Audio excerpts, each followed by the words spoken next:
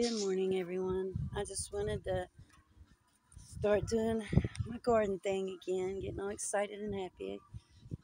My dogs are all excited and happy to be outside. My radio staticky, so I'm walk away. Look, my rose of Sharon. I don't know if you can tell, but getting green blooms and them. And look, this will be the second year for my lupins, so they should bloom this year. I got that little pile and a little stack over there. And my hollyhocks, I'm hoping they come back. Really hoping they come back. And I think my raspberry bush forgot it out here in the negative temperatures and so no hard time. I had a blueberry bush upstairs, an olive tree, a fig tree, rose bush, a grapevine.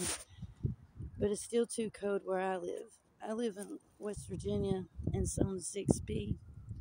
It gets warm, but it gets cold. So I'm thinking about planting asparagus and this. I just have to block the animals away from it. I can already see where they've been digging back there again. But about, I don't know, a week or two ago, uh-uh, no Daisy, I planted some garlic and onions out here. No, just look, you see the, there's something green right there. I think that's one, but anyway.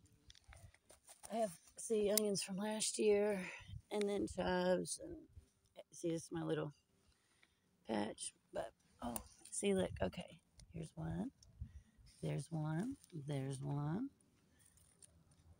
And that looks like onions. I have more onions i need to plant. Oh and this is my little bush.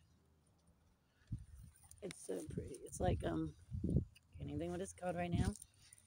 It's over here as well dog's about to kill it out it gets dry back here. I try to water it all the time.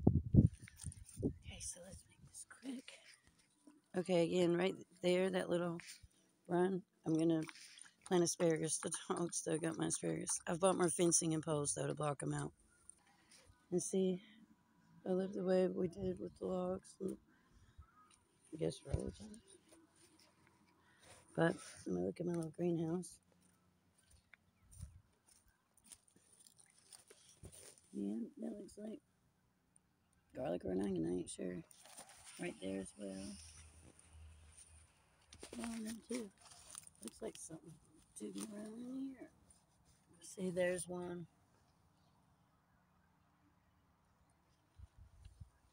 I didn't pull these because they don't root deep and it's keeping it covered. And this is my good soil.